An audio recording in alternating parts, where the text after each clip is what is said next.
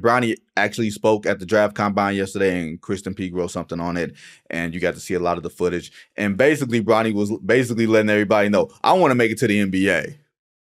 Like the whole playing with my dad stuff, like that's his that's his thing.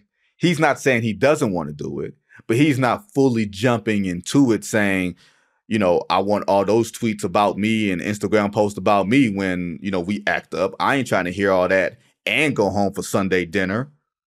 That man will never know peace. And he 18 years old, or however old he is. Can I add something to this? Sure. I think it was uh, one of the first episodes of the Mind the Game podcast that LeBron did with JJ. Okay. Or does with JJ. Uh, where he was talking about the sacrifices he's had to make in his life Mhm. to be the type of player that he is. And he talks about his schedule. And he was like, You wake up, you go to the gym, you come home, you eat, you nap, you go back to the gym.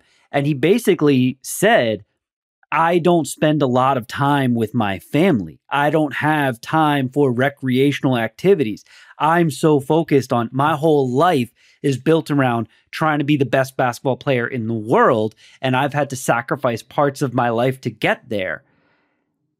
When I heard the way Bronny was like, yeah, I'll play with my dad. That's cool. But like, that's I like I haven't grown up going like, man, I really want to play with my dad.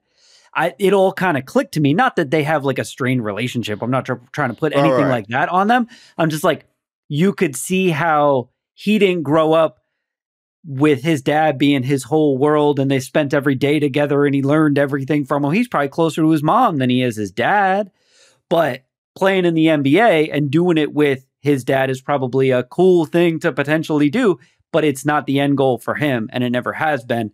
And and when you realize that like LeBron was so focused on being a player and and family maybe had to come second sometimes, it makes even more sense to me. Well, here's the other part of it. A, Bronny wants to come to the NBA and be an NBA player. That's why he he named, you know, when people ask him his player comps, he named like guy like Jrue Holiday. You know I mean? Like that, like there's a sense of groundedness that I think popped up in that moment. But when you want to come in and be an NBA player, you want to be an NBA player, as in, man, this is this is the life. This is the lifestyle. I'm not trying to have my daddy hovering over me because to y'all, he's LeBron James. All these things.